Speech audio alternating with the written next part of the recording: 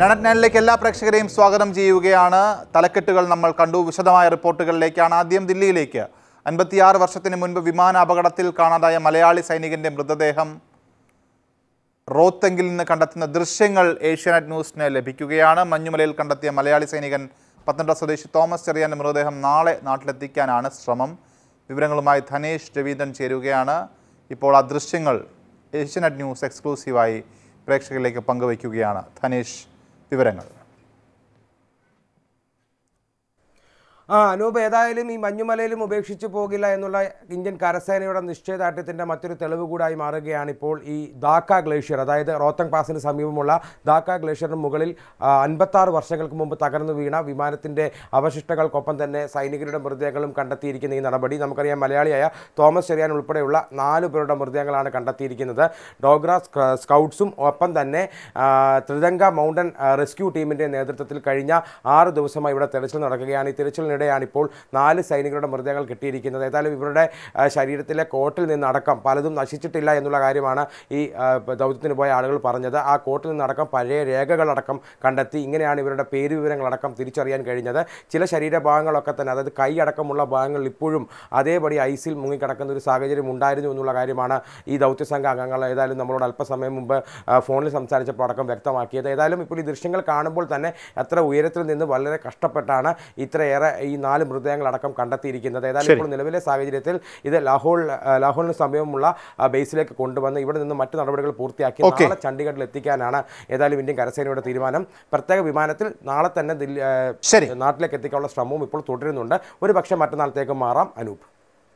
Okay Dhanesh രവീന്ദ്രനാണ് ഈ ദൃശ്യങ്ങളും വിവരങ്ങളും പങ്കുവച്ചത്. അൻപത്തിയാറ് വർഷം മുൻപ് വിമാനപടത്തിൽ കാണാതായ സൈനികൻ തോമസ് ചെറിയാന്റെ മൃതദേഹം കണ്ടെത്തിയെന്ന വിവരം സങ്കടത്തോടെ ഉൾക്കൊള്ളുകയാണ് പത്തനംതിട്ട ഇലന്തൂരിലെ കുടുംബം. സഹോദരനെ കണ്ടെത്താൻ സൈന്യം നടത്തിയ ത്യാഗപൂർണമായ ഇടപെടലിനും ഏഷ്യാനെറ്റ് ന്യൂസിന്റെ നമസ്തേ കേരളത്തിലൂടെ സഹോദരങ്ങൾ നന്ദി പറഞ്ഞു. അൻപത്താറ് വർഷം നീണ്ട ഒരു കാത്തിരിപ്പാണ്. ഞാൻ നമ്മുടെ സഹോദരന്മാരോട് ചോദിച്ചത് ആശ്വാസമാണോ സങ്കടമാണോ എന്നൊക്കെയുള്ളതാണ്. ഏട്ടനെ കുറിച്ച് ഒരു വിവരം കിട്ടുന്ന ഇപ്പോഴാണല്ലേ? ആന്നു അന്ന് മുതൽ ഞങ്ങൾ കാത്തിരിക്കുക ഇന്നും കാത്തിരിക്കുക എന്ന് ഈ രാത്രി കിടക്കുമ്പോഴും ഒക്കെ നമ്മൾ സ്വപ്നമേലും ഒന്ന് കാണണമെന്നുള്ള ഒരാഗ്രഹം ഉണ്ടായിരുന്നു. സ്വപ്നം ഒന്ന് കാണണേ അന്ന് ഒന്നുകൂടെ കാണാനെന്ന്.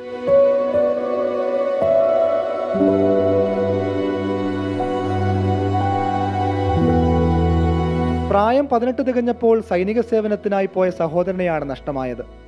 തിരിച്ചു വരുമെന്ന പ്രതീക്ഷ കുടുംബത്തിന് ഏറെക്കാലമുണ്ടായിരുന്നു.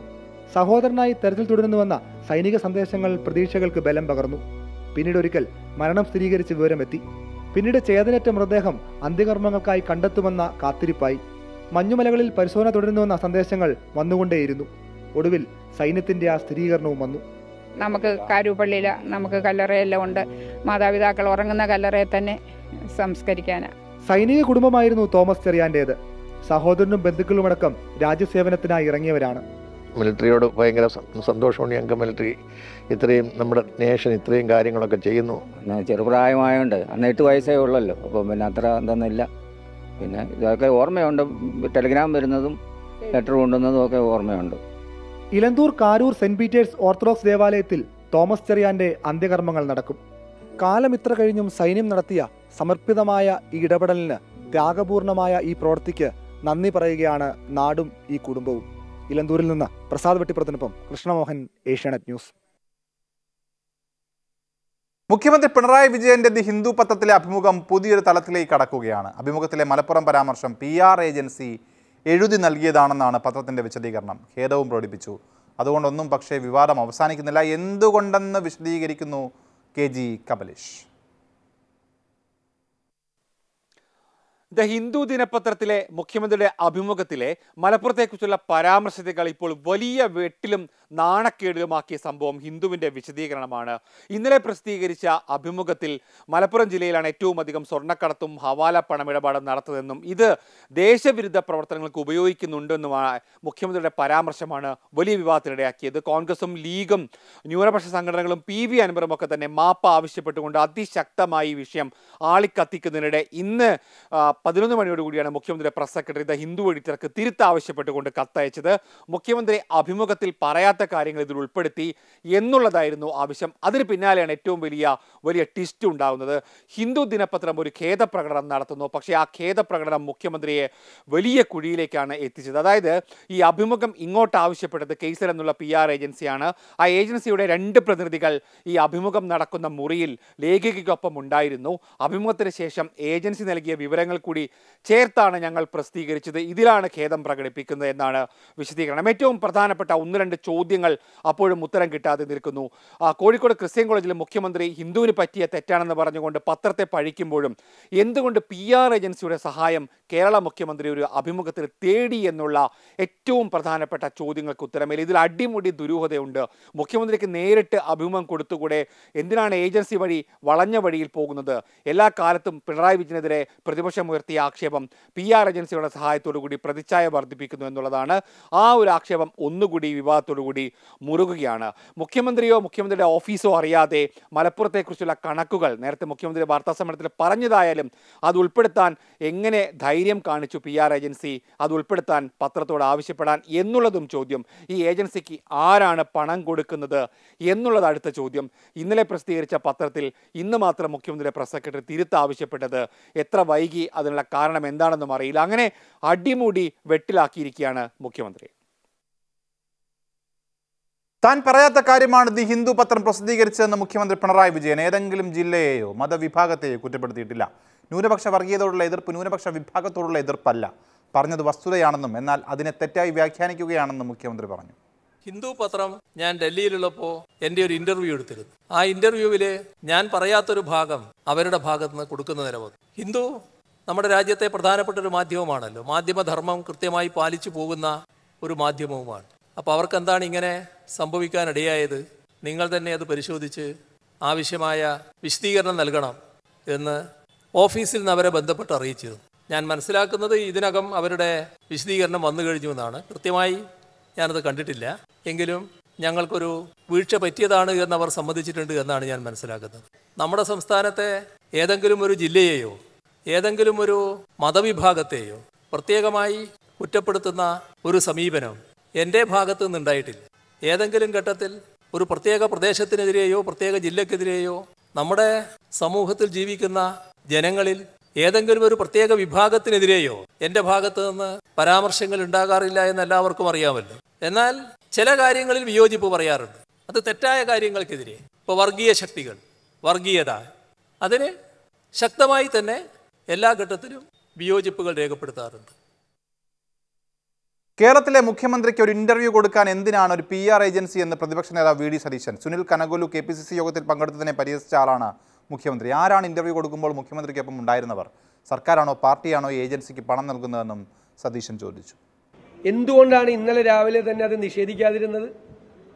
എന്തുകൊണ്ടാണ് ഹിന്ദു ദിനപത്രത്തിനോട് ഇങ്ങനെ ഒരു തെറ്റായ വാർത്ത പ്രസിദ്ധീകരിച്ചതിൽ നിങ്ങൾ ഖേദം പ്രകടിപ്പിക്കണമെന്ന് ഇന്നലെയൊന്നും ആവശ്യപ്പെടാതിരുന്നത്? ഇന്ന് ഉച്ച കഴിഞ്ഞപ്പോൾ ഇത് അപകടകരമായ തലത്തിലേക്ക് നീങ്ങുകയാണ് എന്നുള്ള ബോധ്യത്തിൽ നിന്നാണ് ഇതിൽ നിന്ന് രക്ഷപ്പെടാൻ ശ്രമിച്ചത്. കേരളത്തിലെ മുഖ്യമന്ത്രിക്ക് ഒരു ഇന്റർവ്യൂ നടത്താൻ ഒരു ദേശീയ ദിനപത്രത്തിന് എന്തിനാണ് ഒരു പി ആർ ഏജൻസിയുടെ ആവശ്യം? മുഖ്യമന്ത്രിയുടെ ഓഫീസിൽ ഒരു മീഡിയ വിഭാഗം ഉണ്ടല്ലോ. മുഖ്യമന്ത്രിക്ക് പ്രസ് സെക്രട്ടറി ഉണ്ടല്ലോ പ്രസ് അഡ്വൈസർ ഉണ്ടല്ലോ മീഡിയ വിഭാഗം ഉണ്ടല്ലോ സംസ്ഥാനത്തെ പബ്ലിക് റിലേഷൻസ് ഡിപ്പാർട്ട്മെന്റ് ഉണ്ടല്ലോ. അതിന്റെ അപ്പുറത്തേക്ക് ഒരു ഏജൻസി ഒരു ദിനപത്രത്തിനോട് റിക്വസ്റ്റ് ചെയ്യാണ്. മുഖ്യമന്ത്രിക്ക് ഒരു ഇന്റർവ്യൂ വേണമെന്ന്. എത്ര അപമാനകരമായ കാര്യമാണ്. അപ്പൊ പി ആർ ഏജൻസിയൊക്കെ ആകാം പിണറായി വിജയന്. ഇന്ത്യയിലെ പല കോർപ്പറേറ്റ് സ്ഥാപനങ്ങൾക്കും വേണ്ടി പി ആർ ചെയ്യുന്ന സ്ഥാപനമാണ് മുഖ്യമന്ത്രി പിണറായി വിജയന്റെ അഭിമുഖത്തിനായി ദില്ലിയിൽ കഴിഞ്ഞ ദിവസം സൗകര്യമൊരുക്കിയത്. സി പി എമ്മുമായി ബന്ധമുള്ള മലയാളിയായ പി ആർ ഏജൻസി പ്രതിനിധിയും അഭിമുഖത്തിന് പിന്നിലുണ്ടായിരുന്നുവെന്നാണ് സൂചന. ഇതിനു മുൻപും മുഖ്യമന്ത്രിയുടെ അഭിമുഖങ്ങൾ തയ്യാറാക്കാൻ ഈ പി ആർ ഏജൻസി ഇടപെട്ടതിന്റെ സൂചനയും പുറത്തുവരികയാണ്. മാഹി സ്വദേശിയായ നിഖിൽ പവിത്രൻ പ്രസിഡന്റായ കൈസൻ എന്ന പി ആർ ഏജൻസിയാണ് ദ ഹിന്ദു ദിനപത്രത്തിനായി മുഖ്യമന്ത്രിയുടെ അഭിമുഖം തയ്യാറാക്കാൻ സൗകര്യമൊരുക്കിയത്. ഇന്ത്യയിലും വിദേശത്തും പ്രവർത്തിക്കുന്ന പതിനാറ് വർഷം പഴക്കമുള്ള കമ്പനിയാണ് കൈസൻ. ദില്ലിയിലും മുംബൈയിലും അടക്കം കമ്പനിക്ക് ശാഖകളുണ്ട്. കമ്പനിയിലെ രാഷ്ട്രീയ പാർട്ടികളുമായി ബന്ധം പുലർത്തുന്ന വിഭാഗമാണ് ഈ അഭിമുഖത്തിന് അവസരമൊരുക്കിയതെന്നാണ് നിഖിൽ പവിത്രന്റെ പ്രതികരണം. അഭിമുഖം തയ്യാറാക്കുമ്പോൾ പി ആർ ഏജൻസിയുടെ രണ്ടുപേർ അവിടെ ഉണ്ടായിരുന്നുവെന്ന് ഹിന്ദു ദിനപത്രവും സ്ഥിരീകരിക്കുന്നു. ഏജൻസിയിൽ ഇതിന് നേതൃത്വം നൽകിയത് മുഖ്യമന്ത്രിയോട് അടുപ്പമുള്ള ഉദ്യോഗസ്ഥനാണെന്നാണ് വിവരം. മുഖ്യമന്ത്രി കേരളത്തിൽ വാർത്താ സമ്മേളനത്തിൽ പറഞ്ഞ കാര്യങ്ങളെന്ന് ചൂണ്ടിക്കാട്ടിയാണ് മലപ്പുറത്തെ സ്വർണക്കടത്തിന്റെ കൂടുതൽ വിവരങ്ങൾ ഉൾപ്പെടുത്താനായി പി ആർ ഏജൻസി ആവശ്യപ്പെട്ടത്. പ്രസിദ്ധീകരിച്ചതിന് പിന്നാലെ തിരുത്താതെ ഒരു ദിവസം കഴിഞ്ഞാണ് മുഖ്യമന്ത്രിയുടെ ഓഫീസ് പത്രത്തെ തള്ളിപ്പറഞ്ഞത് സെപ്റ്റംബർ നാലിന് യു എ ആസ്ഥാനമായ ഖലീജ് ടൈംസ് വയനാട് ദുരന്തത്തെക്കുറിച്ച് മുഖ്യമന്ത്രിയുടെ അഭിമുഖമെടുത്തിരുന്നു. അഭിമുഖം തയ്യാറാക്കിയ ലേഖകൻ കൈസൻ ഏജൻസിക്ക് നന്ദി അറിയിച്ചിരുന്നു. ദേശീയ അന്തർദേശീയ മാധ്യമങ്ങളിൽ ഈ ഏജൻസി മുഖ്യമന്ത്രിക്കായി ഇടപെടുന്നുവെന്നതാണ് ഇക്കാര്യങ്ങൾ വ്യക്തമാക്കുന്നത്. Asianet news Delhi. P V അൻവറിനെതിരെ ആഞ്ഞടിച്ച് മുഖ്യമന്ത്രി. സ്വർണക്കടത്ത് സംഘങ്ങളെ പിടികൂടുമ്പോൾ ചിലർക്ക് പൊള്ളുന്നുവെന്ന് മുഖ്യമന്ത്രി പറഞ്ഞു. വഴിയിൽ നിന്ന് വിളിച്ചു കൂവിയാലോ ആക്ഷേപങ്ങൾ ചൊരിഞ്ഞാലോ സി പി എം ആ വഴിക്ക് പോകാറില്ല. ഏതെങ്കിലും വർഗീയ ശക്തി പിന്നിലുണ്ടെന്ന് കരുതി നാക്ക് വാടകയ്ക്ക് കൊടുക്കരുത്. അൻവർ രംഗത്തിറങ്ങുന്നത് പ്രത്യേക അജണ്ടയോടെയെന്നും മുഖ്യമന്ത്രി പറഞ്ഞു. ചില പ്രത്യേക ബോധോദയത്തിന്റെ ഭാഗമായി വഴിയിൽ നിന്ന് വായിൽ തോന്നുന്നതെല്ലാം വിളിച്ചു കൂവിയാൽ കുറെ ആക്ഷേപങ്ങൾ ചൊരിഞ്ഞാൽ അതിന്റെ ഭാഗമായി തീരുമാനങ്ങൾ എടുത്തു പോകുന്ന ഒരു പാർട്ടിയല്ല. ഗൂഢലക്ഷ്യം വേറെ എന്തെങ്കിലും ഉണ്ടെങ്കിൽ അത് ആ രീതിയിൽ നോക്കുന്നതാണ് നല്ലത്. ഇവിടെ കൃത്യമായ വർഗീയ അജണ്ടയുടെ ഭാഗമായുള്ള പുകമറ സൃഷ്ടിക്കാനുള്ള ഒരു ശ്രമം കാണുന്നുണ്ട്. ഏത് കൂട്ടരെയാണോ തന്റെ പക്ഷത്തേക്ക് അണിനിരത്താം എന്ന് ഇതിലൂടെ വ്യാമോഹിക്കുന്നത് ആ കൂട്ടർ തന്നെ ആദ്യം തള്ളിപ്പറയും എന്ന് കണ്ടോളണം.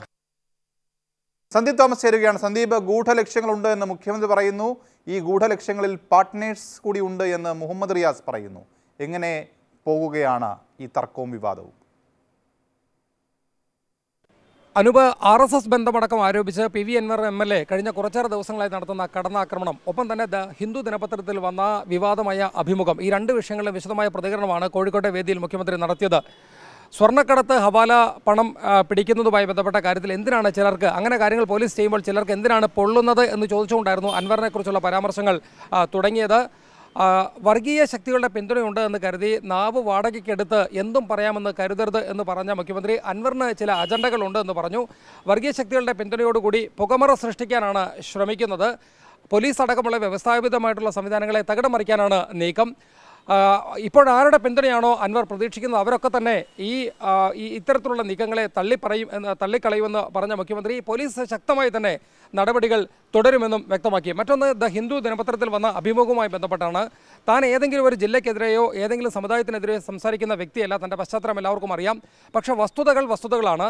കഴിഞ്ഞ അഞ്ച് വർഷത്തെ കണക്ക് പരിശോധിച്ചാൽ കരിപ്പൂർ എയർപോർട്ട് വഴിയാണ് കൂടുതൽ സ്വർണക്കടത്ത് നടന്നിട്ടുള്ളത്. അതിന്റെ കണക്കുകൾ മുഖ്യമന്ത്രി വിശദമാക്കി. ഹവാല പണത്തിന്റെ കാര്യമെടുത്താലും അത് മലപ്പുറം ജില്ലയുടെ പേരിലാണ് അല്ലെങ്കിൽ മലപ്പുറം ജില്ലയിലാണ് കൂടുതൽ ഹവാല പണം പിടിച്ചതെന്നുള്ള കണക്കുകൾ മുഖ്യമന്ത്രി വ്യക്തമാക്കി. എന്നാൽ ഈ കണക്കുകൾ പറയുന്നതുകൊണ്ട് അത് ഏതെങ്കിലും സമുദായത്തിനോ ഏതെങ്കിലും പ്രദേശത്തിനോ എതിരാണെന്ന വ്യാഖ്യാനം ശരിയല്ല എന്ന് മുഖ്യമന്ത്രി വിശദീകരിച്ചു. തന്റെ പശ്ചാത്തലമടക്കം മുഖ്യമന്ത്രി കൃത്യമായി തന്നെ പറഞ്ഞുകൊണ്ടാണ് ഈ കണക്കുകളും മറ്റും പറഞ്ഞത്. മറ്റൊന്ന് പി വി അൻവർ ഈ ഘട്ടത്തിൽ പറയുന്നത് താൻ എൽ ഡി എഫ് പാർലമെന്ററി പാർട്ടിയുടെ ഭാഗമല്ല എൽ ഡി എഫിനോട് എൽ ഡി എഫിൽ നിന്ന് പുറത്തുപോയി തുടങ്ങിയ കാര്യങ്ങൾ പറയുന്നുണ്ടെങ്കിലും അൻവർ പറഞ്ഞിട്ടുള്ള ആരോപണങ്ങളിൽ മേൽ ഒരു അന്വേഷണം നടക്കുന്നുണ്ട്. അന്വേഷണം സുതാര്യമായി തന്നെ നടക്കും. അത് ഒരു മാസത്തേക്കുള്ള ഒരു കാലപരിധി വെച്ചുകൊണ്ടുള്ള അന്വേഷണമാണ്. ആ റിപ്പോർട്ട് വരുന്ന മുറയ്ക്ക് അതിന്മേൽ സുതാര്യമായ നടപടി ഉണ്ടാകുമെന്ന് പറഞ്ഞ മുഖ്യമന്ത്രി മറ്റൊരു കാര്യം കൂടി പറഞ്ഞതും ശ്രദ്ധിക്കേണ്ടതാണ് അനൂപ്. സി പി എമ്മിനെ സംബന്ധിച്ച് സി പി എമ്മിന്റെ സംഘടനാ സംവിധാനത്തും സംവിധാനവുമായി ബന്ധപ്പെട്ട കാര്യത്തിൽ അത് പി ശശി അടക്കമുള്ള ആളുകൾക്കെതിരെ ഉയർന്ന ആരോപണങ്ങളുടെ കൂടി പശ്ചാത്തലത്തിലാണ്. സി പി എമ്മിന് അതിന്റെതായ ഒരു സംഘടനാ സംവിധാനമുണ്ട്. വഴിയിൽ നിന്ന് ആരെങ്കിലും എന്തെങ്കിലും വിളിച്ചു പറഞ്ഞാൽ അതിനനുസരിച്ച് സംവിധാനം പോവുക എന്ന് പറഞ്ഞ മുഖ്യമന്ത്രി ശശിക്കെതിരെ നടപടി ഉണ്ടാകാനുള്ള സാധ്യത ഇല്ല എന്നതിന്റെ സൂചന കൂടിയാണ് ഇന്ന് കോഴിക്കോട്ട് നൽകിയത്. അനൂപ്. ശരി സന്ദീപ്. മുഖ്യമന്ത്രിയുടെ പൊളിറ്റിക്കൽ സെക്രട്ടറി പി ശശിക്കെതിരെ സി പി എം സെക്രട്ടറിക്ക് നൽകിയ പരാതി പുറത്തുവിട്ട് പി വി അൻവർ. സ്വർണക്കടത്തിന്റെ പങ്ക് പറ്റുന്നുവെന്നും കേസുകളിൽ ഒത്തുതീർപ്പുണ്ടാക്കി ലക്ഷങ്ങൾ കൈപ്പറ്റുന്നതും അടക്കം ഗുരുതര ആക്ഷേപങ്ങളാണ് ശശിക്കെതിരെ പരാതിയിൽ അൻവർ ഉന്നയിക്കുന്നത്. പാർട്ടിയുമായി ആലോചിച്ച് ശശി നിയമ നടപടി സ്വീകരിക്കുമെന്നാണ് വിവരം. മുഖ്യമന്ത്രിക്കും സി പി എമ്മിനുമെതിരായ പോരിൽ ആയുധങ്ങളെല്ലാം എടുത്തു വീശുന്നു പി വി അൻവർ. ഇന്നലെ ഏഷ്യാനെറ്റ് ന്യൂസിന്റെ ന്യൂസ് അവറിൽ പാർട്ടി സെക്രട്ടറിക്കുള്ള പരാതിയിൽ ശശിക്കെതിരെ ഒന്നും ഉന്നയിച്ചില്ലെന്ന പ്രസ്താവന ഉണ്ടായ സാഹചര്യത്തിലാണ് പരാതി പുറത്തുവിടുന്നതെന്നാണ് അൻവറിന്റെ വിശദീകരണം. ഫേസ്ബുക്കിലൂടെ പരസ്യമാക്കിയ പരാതിയിൽ ശശിക്കെതിരെയുള്ളത് ഗുരുതരാക്ഷേപങ്ങൾ. സ്വർണക്കടത്തിന്റെ പങ്ക് പറ്റുന്നു. കച്ചവടക്കാർക്കിടയിലെ സാമ്പത്തിക തർക്കത്തിൽ ഇടപെട്ട് ശശി ലക്ഷങ്ങൾ കൈപ്പറ്റി. കമ്മീഷൻ വാങ്ങി കേസുകൾ ഒത്തുതീർപ്പാക്കുന്നു. രാഹുൽ ഗാന്ധിക്കെതിരായ പരാമർശത്തിൽ തനിക്കെതിരായ കേസിന് പിന്നിലും പി ശശി. സോളാർ കേസിൽ പ്രതികൾക്ക് രക്ഷപ്പെടാൻ അവസരമൊരുക്കിയത് A D G P Ajith കുമാറും ശശിയും ചേർന്ന്. മുഖ്യമന്ത്രിയുടെ ഓഫീസിൽ പരാതി നൽകാനെത്തുന്ന സ്ത്രീകളുടെ ഫോൺ നമ്പർ വാങ്ങി ശൃംഗാരഭാവത്തിൽ ഇടപെടുന്നു എന്നുവരെ പോകുന്നു പരാതി. പാർട്ടിക്കാരെ സർക്കാരിൽ നിന്നും അകറ്റി നിർത്തുന്ന പി ശശിക്കെതിരെ നടപടി വേണമെന്നാണ് എം വി ഗോവിന്ദന് നൽകിയ പരാതിയിലെ ആവശ്യം. മുഖ്യമന്ത്രിയും പാർട്ടിയും പറഞ്ഞിട്ടുണ്ട്. അതിനപ്പുറത്തൊന്നും എനിക്ക് വ്യക്തിപരമായിട്ട് പറയാനില്ല. എത്ര ഗുരുതരമായാലും പാർട്ടിയും മുഖ്യമന്ത്രിയും പറഞ്ഞതിനപ്പുറത്ത് എനിക്കൊന്നും പറയാനില്ല. പോരെ? ഗുരുതര സ്വഭാവമുള്ള പരാതി കിട്ടിയിട്ടും മുഖ്യമന്ത്രിയും പിന്നാലെ പാർട്ടിയും പി ശശിക്ക് നൽകിയത് പൂർണ പിന്തുണ. ഭരണപക്ഷ എം എൽ എയുടെ പരാതിയിൽ എന്തുകൊണ്ട് അന്വേഷണം നടത്താതെ ക്ലീൻ ചിറ്റ് എന്ന ചോദ്യം മുഖ്യമന്ത്രിയെയും പാർട്ടിയെയും ഇനിയും കൂടുതൽ പ്രതിരോധത്തിലാക്കും. Asiana news Thiruvananthapuram. വീണ്ടും വാർത്തകളിലേക്ക്. സുപ്രീം കോടതിയിൽ നിന്ന് ഇടക്കാല ജാമ്യം കിട്ടിയതോടെ ഒളിവ് ജീവിതം അവസാനിപ്പിച്ച സിദ്ദിഖ് കൊച്ചിയിലെത്തിയ അഭിഭാഷകനെ കണ്ടു. അതേസമയം സിദ്ദിഖിന്റെ അറസ്റ്റ് രേഖപ്പെടുന്നത് അന്വേഷണ സംഘത്തിൽ ആശയക്കുഴപ്പം തുടരുകയാണ്. വിവരങ്ങളുമായി അഭിലാഷ് ജി നായർ കൊച്ചിയിൽ നിന്നും ചേരുകയാണ്. അഭിലാഷ്.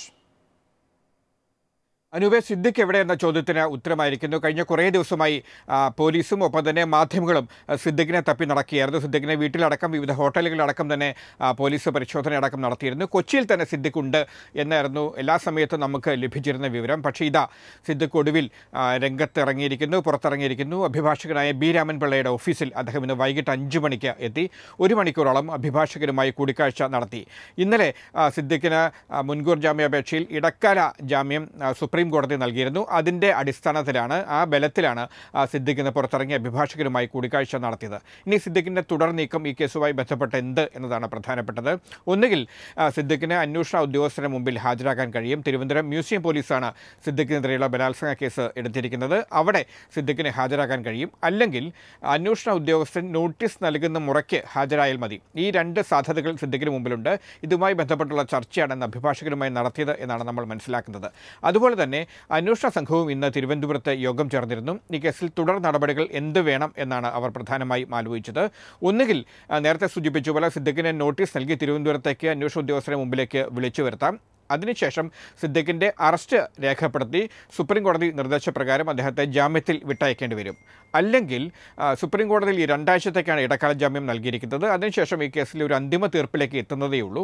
അതുകൊണ്ട് അതുവരെ അന്വേഷണ സംഘം കാത്തിരിക്കുമോ എന്നതും പ്രധാനപ്പെട്ട ഒരു കാര്യമാണ്. അതിനിടയ്ക്ക് വേണമെങ്കിൽ സിദ്ദിഖിനെ ചോദ്യം ചെയ്യാനായി വിളിപ്പിച്ച് അറസ്റ്റ് രേഖപ്പെടുത്താതെ വിട്ടയക്കാനാകും. അങ്ങനെ കുറേ ദിവസങ്ങൾ സിദ്ദിഖിനെ ചോദ്യം ചെയ്ത ശേഷം സുപ്രീം കോടതിയിൽ ഈ ഹർജിയിൽ ഒരു അന്തിമ തീർപ്പായതിനു ശേഷം അറസ്റ്റ് വേണമോ? അക്കാര്യത്തിൽ കോടതി അറസ്റ്റിന് അനുമതി നൽകുന്നുണ്ടോ എന്നതിൽ ഒരു അന്തിമ തീരുമാനം അറിഞ്ഞ ശേഷം മാത്രം പോരെ എന്ന് ചോദിക്കുന്നവരും അന്വേഷണ സംഘത്തിൽ ഉണ്ട് എന്നാണ് നമ്മൾ മനസ്സിലാക്കുന്നത്. ഏതായാലും ഈ രണ്ട് സാധ്യതകളും ഒരേപോലെ അന്വേഷണ സംഘത്തിന് മുമ്പിലുമുണ്ട്. അതോടൊപ്പം തന്നെ ഉടൻ തന്നെ ഹാജരാക്കണമോ അതോ നോട്ടീസ് നൽകിയ ശേഷം ഹാജരായാൽ മതിയോ? എന്ന കാര്യത്തിൽ സിദ്ദിഖിന്റെ ഭാഗത്തും ഒരു തീരുമാനം വരേണ്ടതുണ്ട്. ശരി അഭിലാഷ്. നടിയെ ആക്രമിച്ച കേസിൽ സുപ്രീം കോടതി ജാമ്യത്തിലിറങ്ങിയ പൾസർ സുനിയുടെ സഞ്ചാരം ആഡംബര വാഹനങ്ങളിൽ. ഇടത്തരം സാമ്പത്തിക പശ്ചാത്തലത്തിലുള്ള സുനിൽ വിചാരണയ്ക്കായി അടക്കം കോടതിയിലെത്തുന്നത് കാൽ കോടി രൂപയോളം വില വരുന്ന വാഹനങ്ങളിലാണ് ജാമ്യത്തിലിറങ്ങിയ പ്രതിയുടെ സാമ്പത്തിക സ്രോതസ്സിൽ സ്പെഷ്യൽ ബ്രാഞ്ച് അന്വേഷണം തുടങ്ങിയിരിക്കുകയാണ്.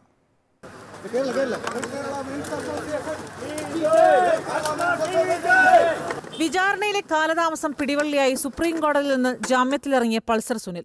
എറണാകുളം സബ് ജയിലിൽ നിന്ന് ഏഴര വർഷത്തിനു ശേഷം ഇക്കഴിഞ്ഞ ഇരുപതാം തീയതി പുറത്തിറങ്ങിയത് രണ്ട് ലക്ഷം രൂപയുടെ ആൾജാമ്യത്തിൽ സെപ്റ്റംബർ ഇരുപത്തിയാറിന് എറണാകുളം ജില്ലാ മജിസ്ട്രേറ്റ് കോടതിയിൽ രണ്ടാം ഘട്ട വിചാരണയ്ക്കായി എത്തിയത് കിയ കാർണിവലിൽ. വില മുപ്പത് ലക്ഷം രൂപ. തൊട്ടടുത്ത ദിവസവും സുനിൽ കോടതിയിലെത്തിയത് താർ ജീപ്പിൽ. പതിനാറ് മുതൽ ഇരുപത് ലക്ഷം രൂപ വിലയുണ്ട് ഈ വാഹനത്തിന്. കെയിൽ അറുപത്താറ് ഡി നാലായിരം. കുട്ടനാട് ആർ ടി രജിസ്ട്രേഷനിൽ കുഞ്ഞുമോൾ എന്ന വ്യക്തിയുടെ പേരിലാണ് ഈ വാഹനം. പെരുമ്പാവൂർ കോടനാടുള്ള സുനിലിന്റെ വീട്ടിൽ പോലീസ് നിരീക്ഷണമുണ്ട്. ഒരൊറ്റ സിം മാത്രം ഉപയോഗിക്കണമെന്ന വ്യവസ്ഥ സുനിൽ പാലിക്കുന്നുണ്ടോ എന്നതിലും പോലീസ് പരിശോധന തുടങ്ങി. അടുത്ത ബന്ധുവിന്റെ പേരിലുള്ള സിമ്മിൽ നിന്ന് സുനിൽ പലരെയും ബന്ധപ്പെടുന്നുണ്ടെന്നാണ് വിവരം. കേസിന് മുൻപേ ചില അഭിനേതാക്കളുടെ ഡ്രൈവറായിരുന്ന സുനിലിന്റേത് വളരെ സാധാരണ കുടുംബ പശ്ചാത്തലം. ഏഴര വർഷത്തിനിടെ ലീഗൽ സർവീസസ് അതോറിറ്റി സഹായത്തിലല്ല സ്വന്തം അഭിഭാഷകൻ വഴിയാണ് ഓരോ തവണയും സുനിൽ ജാമ്യാപേക്ഷയുമായി കോടതിയിലെത്തിയത്. പത്താം തവണയും അപേക്ഷ തള്ളിയ ഹൈക്കോടതി തുടർച്ചയായി ജാമ്യഹർജി ഫയൽ ചെയ്തതിന് ഇരുപത്തയ്യായിരം രൂപ സുനിലിന് പിഴയും ചുമത്തി. സാമ്പത്തിക സഹായവുമായി സുനിലിന് പിന്നിൽ ആരൊക്കെയുണ്ടെന്ന് ജസ്റ്റിസ് പി വി കുഞ്ഞികൃഷ്ണന്റെ പരാമർശവും ചർച്ചയായി. ഇതിന് പിന്നാലെയാണ് വിചാരണ വൈകുന്നതിലെ ആനുകൂല്യത്തിൽ പ്രതിക്ക് സുപ്രീം കോടതി ജാമ്യം നൽകിയത്. ഏത് സാമ്പത്തിക അവസ്ഥയിലുമുള്ള ഒരു പ്രതിക്ക് അഥവാ കുറ്റാരോപിതന് നിയമ പോരാട്ടത്തിനുള്ള എല്ലാ അവകാശങ്ങളുമുണ്ട്.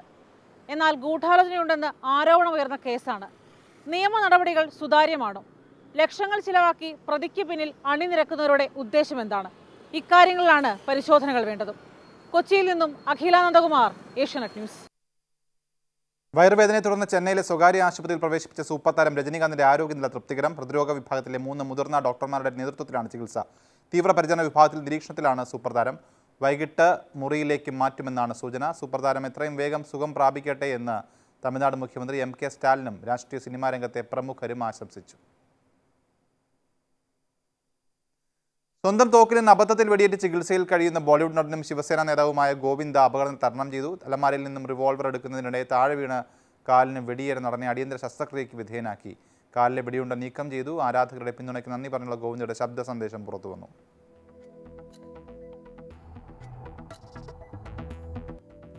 ഇന്നത്തെ നാനറ്റാൻ പൂർണമാവുകയാണ്. ഇനി ന്യൂസ് സ്ട്രീലിൽ രജനി വാര്യർ